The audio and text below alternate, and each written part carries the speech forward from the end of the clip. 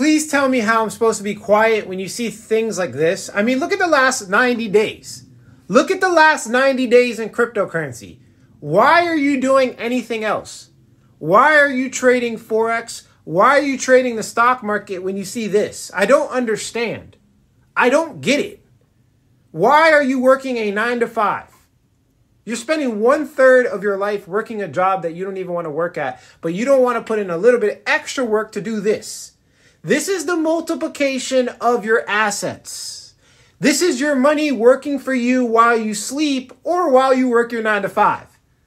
I am hiring money. As you can see right there, look, this was actually my buy call right there, Pendle Finance. These are the top earners in the last 90 days. What are you doing?